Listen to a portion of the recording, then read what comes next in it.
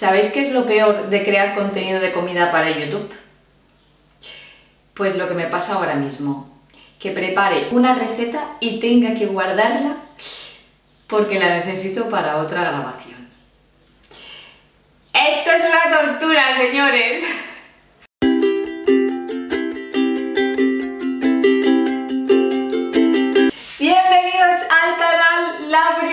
De este mes de miércoles express que vamos a preparar estas recetas que nos encantan, rápidas, que las haces y te las comes al momento. Aunque yo hoy me tenga que aguantar. Bueno, creo que con una bolita que guarde de este helado que vamos a preparar saludable, riquísimo, voy a tener suficiente para la siguiente receta que no os desvelo más. Solo os digo que el helado de hoy va a ser la guarnición de la receta de mañana. Si tienes el calendario delante ya tienes pista de lo que va a ser. Y si no lo tienes, te recuerdo que puedes descargarlo de forma gratuita en la web, te dejo el enlace en la cajita de aquí abajo. Y hoy vamos a hacer este helado express que no necesitas heladera y que te lo puedes comer al momento o lo puedes guardar y congelarlo para futuras ocasiones. Además, es una receta de aprovechamiento. ¿Por qué? Porque la base van a ser plátanos maduros.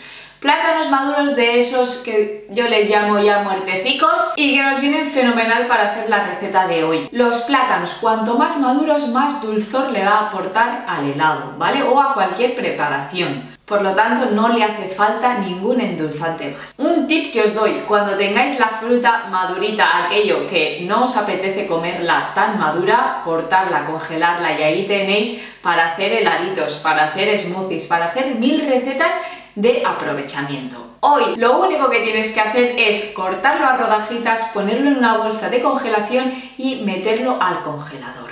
Y a partir de ese plátano congelado vamos a hacer la receta de hoy. Es un helado vegano, sin huevo, sin lácteos, por lo tanto, todos los que seáis intolerantes a la lactosa y todos los que seáis intolerantes al huevo lo podéis consumir sin problemas. Y también si quieres que sea vegana, fíjate en el chocolate negro que sea también vegano. Así que ya no me enrollo más. Express, en la receta, express la introducción, vamos con ese helado de plátano, cacahuete y chocolate.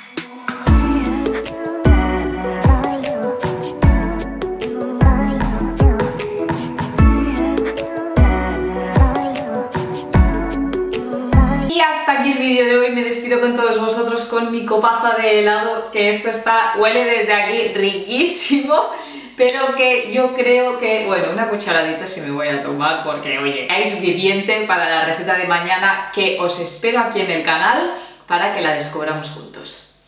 ¡Adeu!